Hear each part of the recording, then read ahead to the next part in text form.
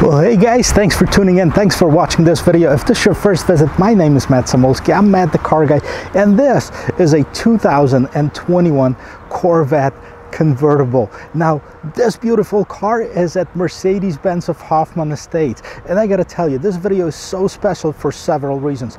Number one, I've been chasing this car for almost an entire year, ever since I started my channel, which is almost to the day exactly one year ago.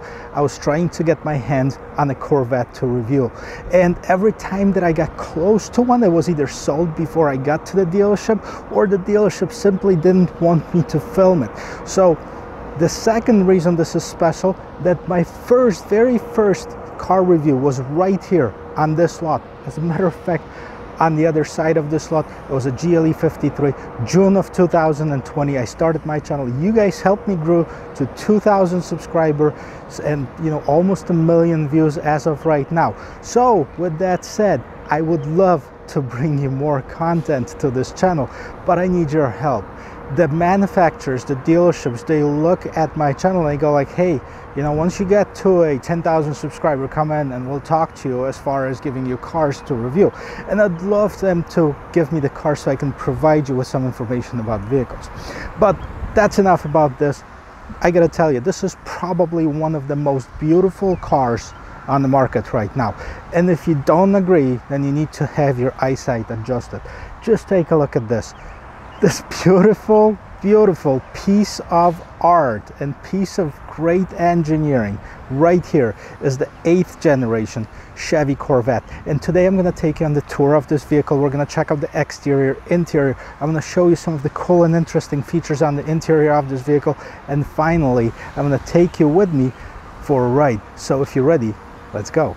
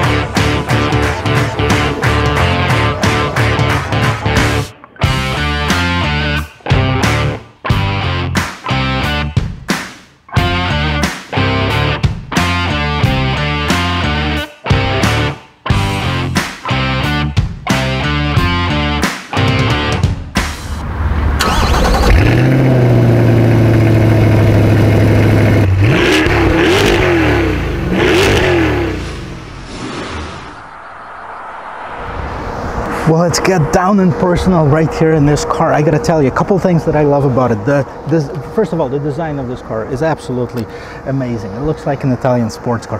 But the lights, look how nice, aerodynamic, low lights is. And see what happens when you hit the unlock on the car.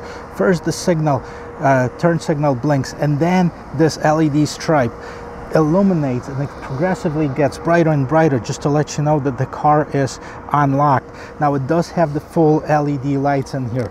At the bottom here, the whole setup right here, typical of a race car, it does those huge air intakes right in here. This is wide open. See, the, you can see the radiator in here and then you can see this uh, trim piece that's carbon fiber as well as this trim piece right here that's basically the shiny black cameras on both sides, Corvette written right here, a little bit of that matte gray plastic in here and so typical those Corvette wings with the checker flank on one side and the Chevy logo on the other side. Now what's also pretty cool in here, it is sits pretty low to the ground. So uh, a lot of you might be like, hey, I'm gonna scrape that bumper every time I get in my driveway. Well, guess what? Corvette thought about it, Chevy thought about it, and they equipped it with a two, almost a two inch axle lift so what that means that every time you get up here, you're able to raise this vehicle up to two inches and then it's going to memorize it. One, one of the thousand memory locations can be memorized and every time you pull up in the same area, it's going to automatically do that for you. Now, so that's about the front of this vehicle. Now let's check out of what's in here. And you might think, hey, it's an engine, right?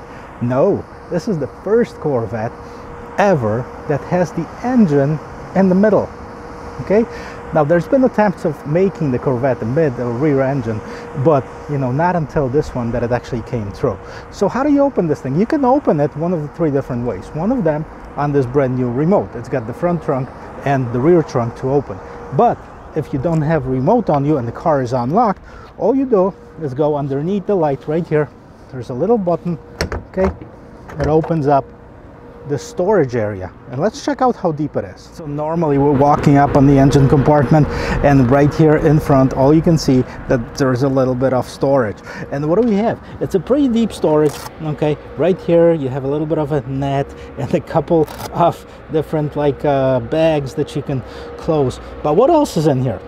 I'm not quite sure of why there is a power outlet in this storage unless you want to put a cooler in here that might be it. You want to put a cooler in here and plug it in and keep it nice and cool. And also federal regulation require manufacturers to put like an escape hatch. So in case somebody I'm not sure how that would happen but somebody would be locked in side of this vehicle they can actually hit this button. It's nice it glows in the dark and they can get out of here from the insides. Okay your windshield uh, washer fluid right in here. And that's it. You can't really see anything up here. Now what's also pretty cool look at the size of this. This is like a cracked egg almost no? They didn't make it straight. They made it look look look at this. They made this with this kind of zigzag in the front trunk which is actually looks pretty darn good. And this one right here has those racing stripes across the car.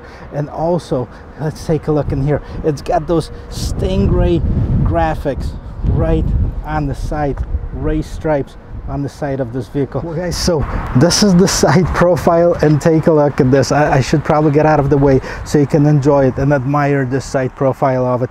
Now, it, it's a typical of a sports vehicle and because the engine is actually right here, right in the middle of this car, these are functional air intakes.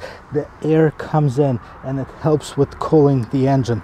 Now, what also very interesting about this you can see there is no door handles anywhere right here. There's a little um, door handle right underneath here which you can basically push and open the door. This is the electronic button right here. So Matt what's gonna happen if you incidentally battery goes dead you don't have a remote and how do you get in this car? Well there is a little uh, keyhole right on this side right here. I'll give you a little close-up of it in just a little bit so you can see. So in case you lock yourself out but you still have that little key the battery drains you can actually get inside this this car.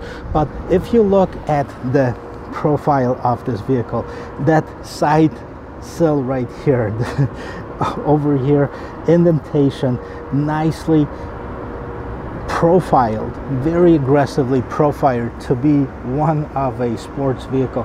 Now the mirrors right here, um, they're not big, but I've been inside the car. You can see really nicely out of them. They're also really nice and sporty as far as this. Now this is also, you can see this is a convertible, right? You've seen it on that little b-roll that I made in front. You can open it up with the remote. The car opens it up. Basically, uh, you can push the button from the inside, but you can also push a button on the remote and actually this top will open up. It is a hardtop convertible and the engineers made this so it's as stiff as a regular coupe or almost as stiff as a regular coupe. Now it does add um, about 80 pounds or so to the regular Corvette. So is it going to affect the performance? Well, we're going to talk about that in just a little bit, but let's continue with the design of it. If you take a look, I love these wheels. Okay, I'm not sure if these came on this vehicle or they were added because I've seen some Corvettes with kind of a plain wheels. These look awesome those black wheels and they do have corvette logos in here. Now it also says corvette on this red brake calipers and it's got the z uh, 51 right here so that means that it does have that sporty z51 appearance package performance package if you will. Now it is equipped with the summer tires and this one has the michelins on it. Those are the summer tires and let's take a look at the sizes in front because that's interesting 245 by 35 19 in the front. Let's see if it's the same in the back. Okay? 305 30 20 okay?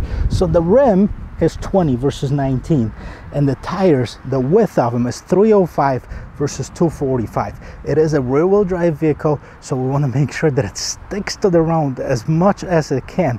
That's why they put those wide wide tires in the back also a bigger size rim on it.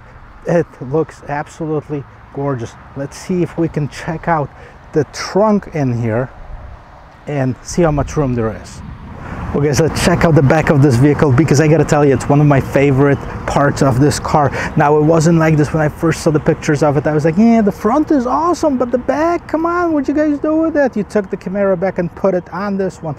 Nothing like this. This is completely of its own. And when you think Corvette before, you always think of the oval, round lights in the back. They changed that. They put those pretty cool double feature on the lights completely LED lights, turn signals are right here, backup sensors. I'm gonna push the lock button so you can see how the signal works.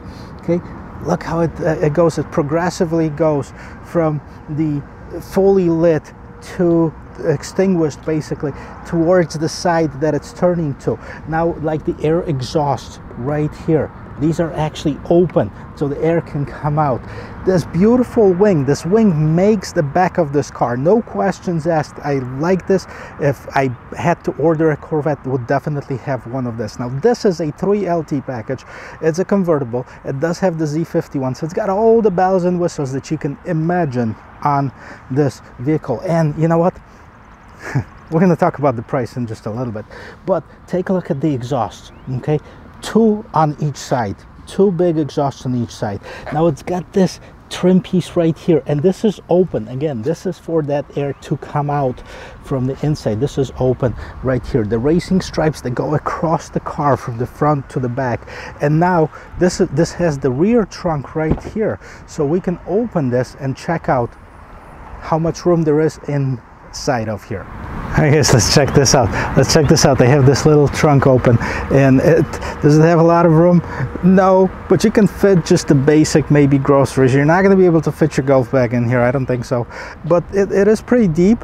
You know, when I read about it, between both front and back if you were to combine the storage space the cubic feet or cubic inches it would be the same as in the previous generation one obviously it's divided and it looks completely different so you know, it depends on if you need more room, you need another car then, basically.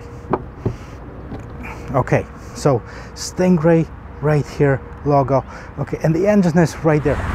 Okay, so normally when I talk to you about the engine, you can actually see this engine, but because it's right here and there's no way for us to really get into it, uh, I'm just gonna tell you about it. It is a 6.2 liter naturally aspirated engine 490 horsepower or 495 if you opt in for the Z51 uh, option package right here. It, it, it, does have 470 pound feet of torque and you know so with the with the Z51 that's important because it's five extra horsepower. It does have the performance exhaust. It does have the bigger wheels and performance tires.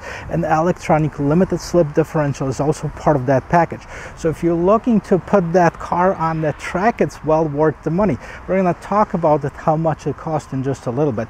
But it's very important to also know that these tested 0 to 60 in under 3 seconds. 2.9 is what Corvette or Chevy says 2.8 for a lot of people that I saw the reviews actually tested it at.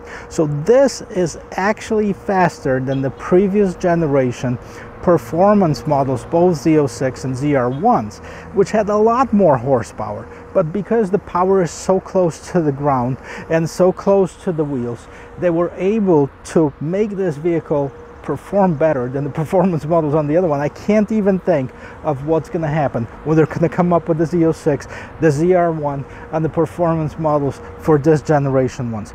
But let's stick to this one right here. What's also important to mention that the only transmission that is available is a dual clutch 8-speed automatic transmission, no more manual. I know it's disappointing for some of the Corvette owners, but from what I heard and from what I've been able to just drive around here, uh, this transmission is pretty cool and I'm gonna test it out once we're gonna take it on the road. But before we do that let's check this out. Well first of all let's see how the door closes. You just gotta keep in mind that this is frameless okay? This got no frame so it's gonna sound a little bit different than the regular door but it still sounds pretty darn good. And we're gonna jump inside because the interior again has been completely changed. What's interesting most of the upgrades or most of the redesigns are kind of based on the previous generation model. Now this one is the first one in ever, I think, as far as the Corvette, that they basically put a clean slate and design a completely different vehicle. There is no bolt that's the same as on the previous generation Corvette, which is amazing. And they really did a tremendous job. Oh, just take a look at it once we get inside, you're probably going to appreciate it even more. So let me take you on the tour of the interior of this vehicle. And look how nice this trim is. But let's open this up and let's check out the door. So first of all, okay, you can see Bose stereo, nice quality materials. This aluminum trim, Bose Performance Series stereo, memory seats, contrast stitching. Now this is again, this is part of that uh, uh, package. The, remember, this is the top of the line, so this is what you get.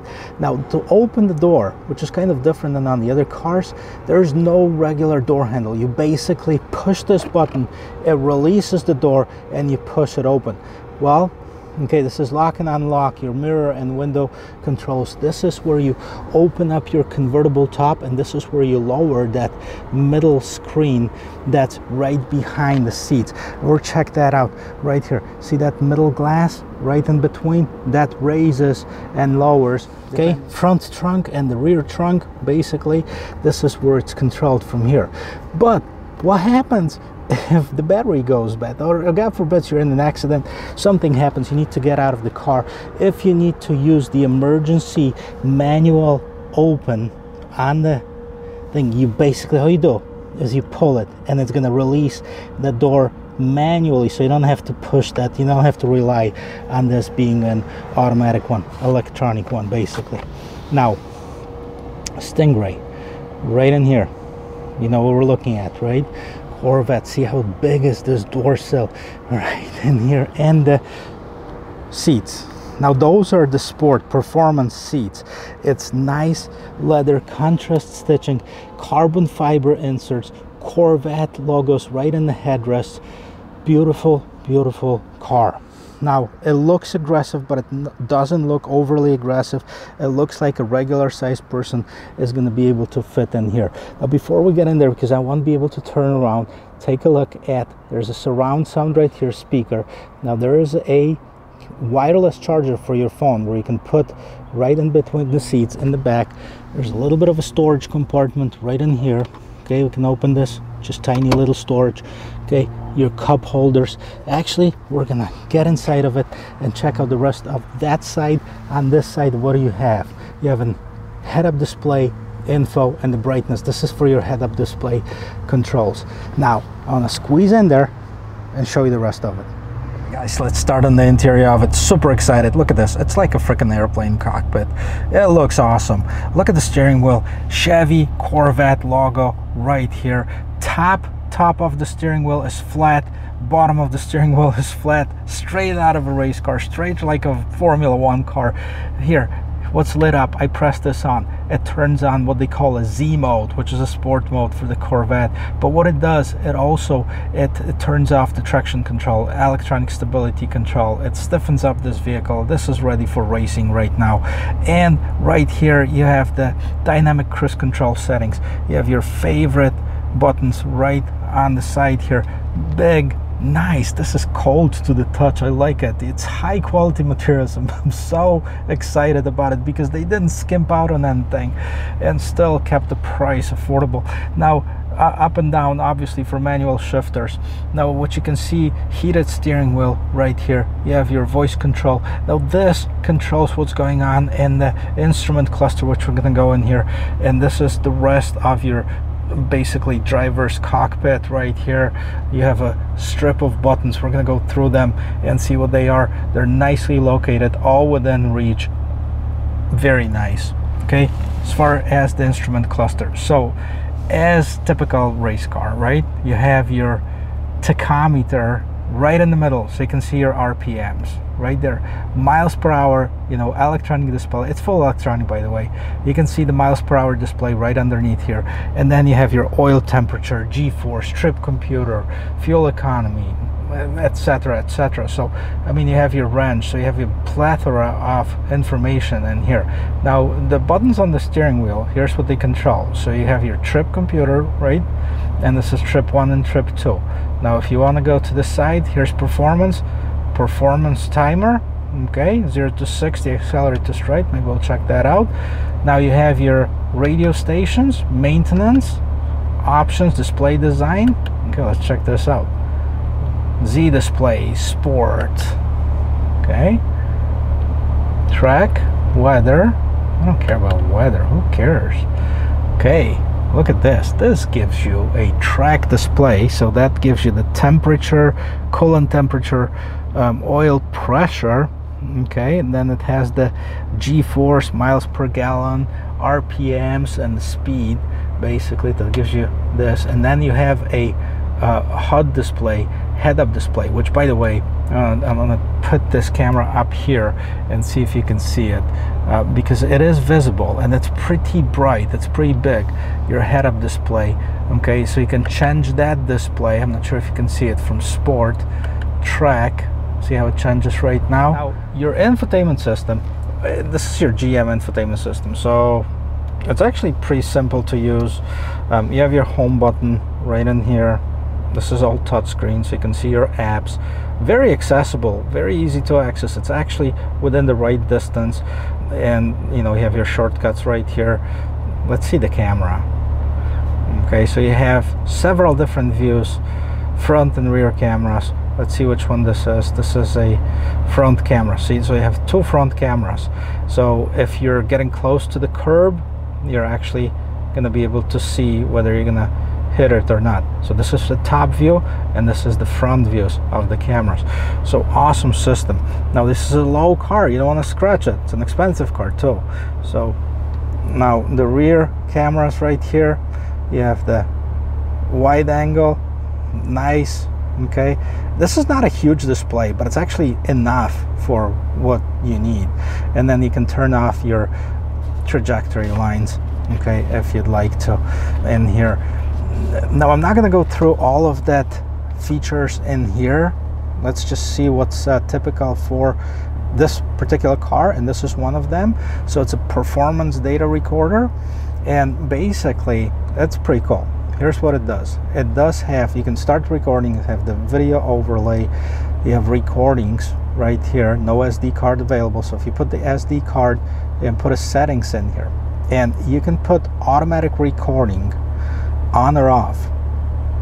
Okay so whenever your vehicle starts you can have this automatic recording on. That basically is a cool feature because this is kind of like your onboard camera your dash camera. So in, in case of any accident you know it's going to keep a recording of whatever happens you can set up the video recording quality software informations.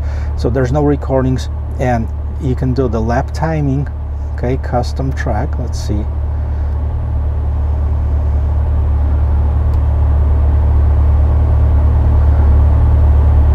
there's no there's no track saved in here. But you can start recording. There's no SD so if there was an SD card you can start recording and it's actually pretty cool. Climate control camera. Um, so climate control basically that's your on-screen. Very easy to use.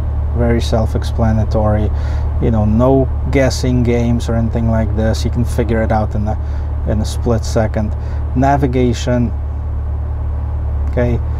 Nice screen bright okay go back to the home screen user settings phone audio. Now the audio okay you gotta trust me on this got a really nice stereo system. It's a Bose performance Series stereo. Sounds really really good. Unfortunately due to some copyright issues I can't play anything in here. Uh, but that's the infotainment system okay? Start and stop engine button right in here okay? And let's check out this part right here. Because this is your gear shifter okay? You see we're in park. In order to get to reverse you have to lift it up okay? Puts it in the reverse and it basically you know turns on the camera okay? You push it to get to neutral. If you'd like to you push it to get to park and then you pull it again you know to get to drive. So you know push it everything that's stationary basically pull it everything that makes the vehicle move. That's how that works. Manual mode it turns off. First shift to drive then try again. So you, you gotta put it in drive and then you can put it in the manual mode and it displays on the screen right here. It's M1 okay? And then you can shift the gears manually. So we're going to turn off the manual mode. I don't really care about that for now.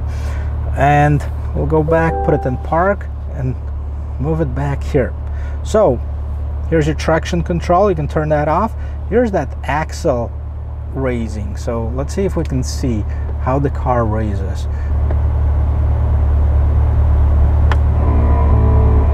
Okay you can hear it.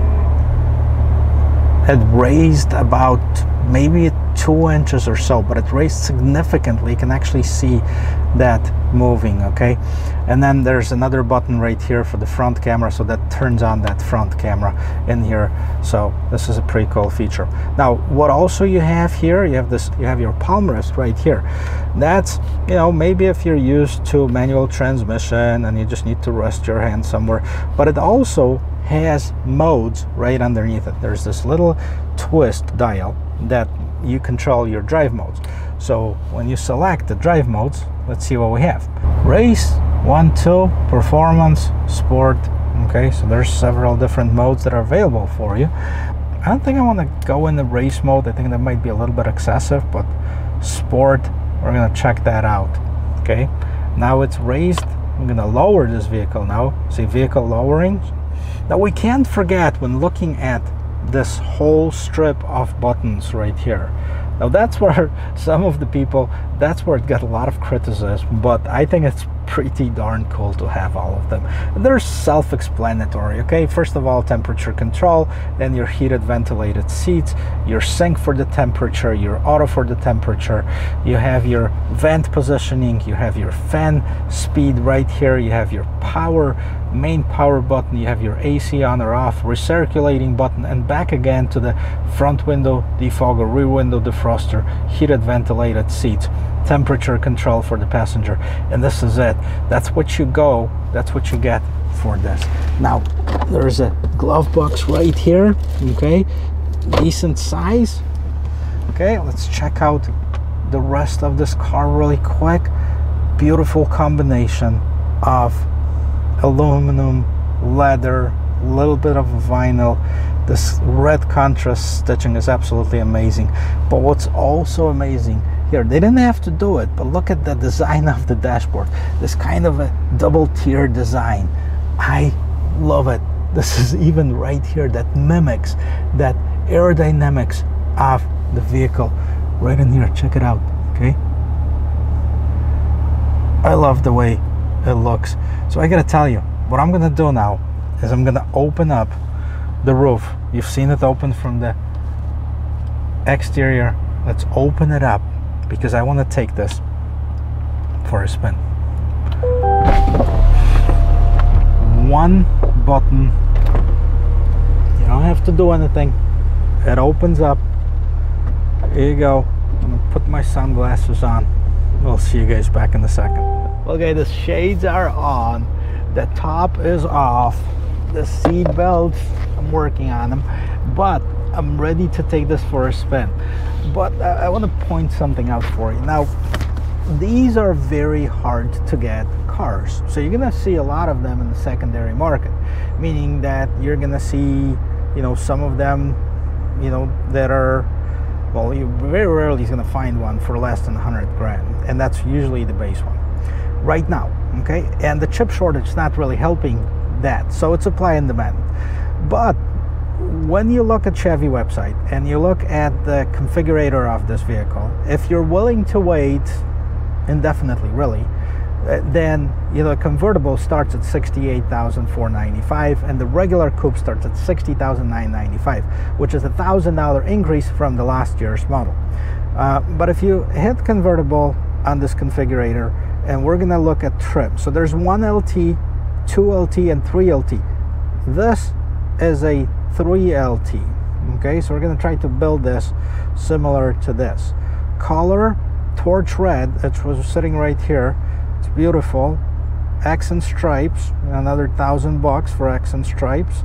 We're gonna uh, go through packages. Z51, it's $6,000. This is the performance package that you the suspension, the electronic limited slip differential, performance ratio, rear axle, Z21 performance Brembo, anti-lock brakes, and you know there's more to it. But basically those are the staggered wheels staggered tires etc etc six grand that's for the performance package right here.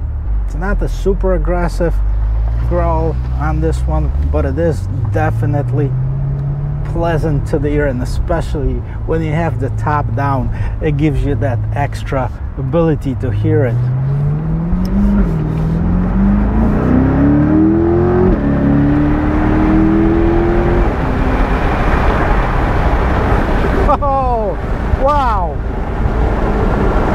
guys all I have to say is wow on this one I, I didn't even try hard enough. And, and you can hear like that rev matching right here.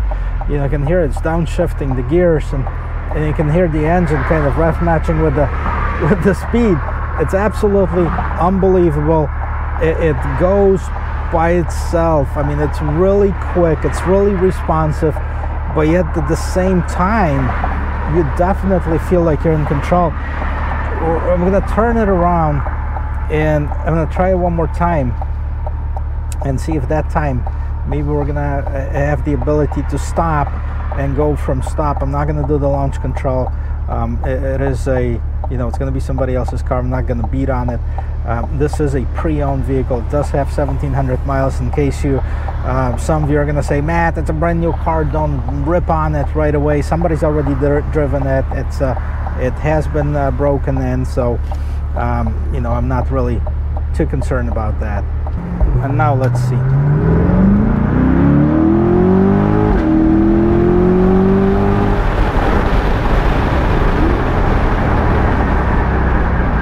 thing is unbelievable. It's super quick.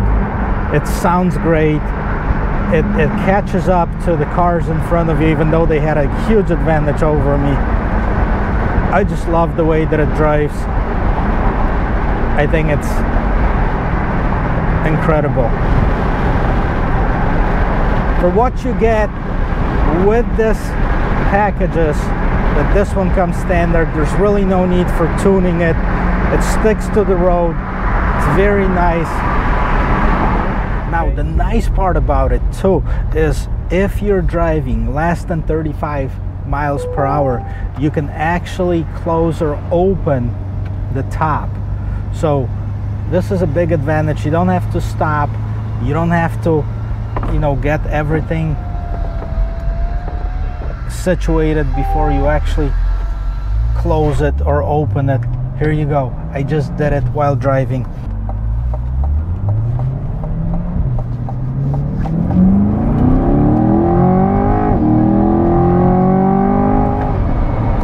Extremely quick. Extremely quick. So impressed by the ability of this car. And mind you, I'm only able to check it out on the road within the common sense, within the speed limit. So, you know, I'm just accelerating it, but I'm not going past to like the top speed. I can only imagine what somebody that knows what they're doing and someone who really would appreciate this car taking it on track or you know taking it somewhere where it's safe to drive at the high speeds this is just a taste and i'm completely amazed with it of what they've done to make this vehicle what it is. The look of it and it definitely turns a lot of heads. You know while people are looking at me while driving they go like well what is it? They're still not used to the new look of this it's absolutely incredible. I gotta tell you, I did two cars today for Mercedes Benz of Hoffman Estates. Those guys are super nice. I did two American icons basically a 2021 Ram 1500 TRX 700 horsepower and almost 500 horsepower in this. And I gotta tell you, if I had the means to buy both of these cars right now that be on the truck being shipped to Florida. So these, this is how impressed I am. And I drive a lot of cars here. And this is from rolling. This is from rolling. This is what it does. I, am kind of glad that I don't have this car for an extended period of time because God knows what would happen. Uh, I'd have definitely too much fun with it. But definitely give it a huge two thumbs up. Guys, if you like watching videos like this, please help me help you by providing your content with new vehicles by subscribing and liking this channel. It really means a lot to me. And believe it or not, not even financially, but it helps me get the exposure that I need to have access to vehicles that otherwise would not be available to me. So it's all thanks to you. So thank you again for being part of the Matt the Car Guy family. And I will see you in my next video. Cheers.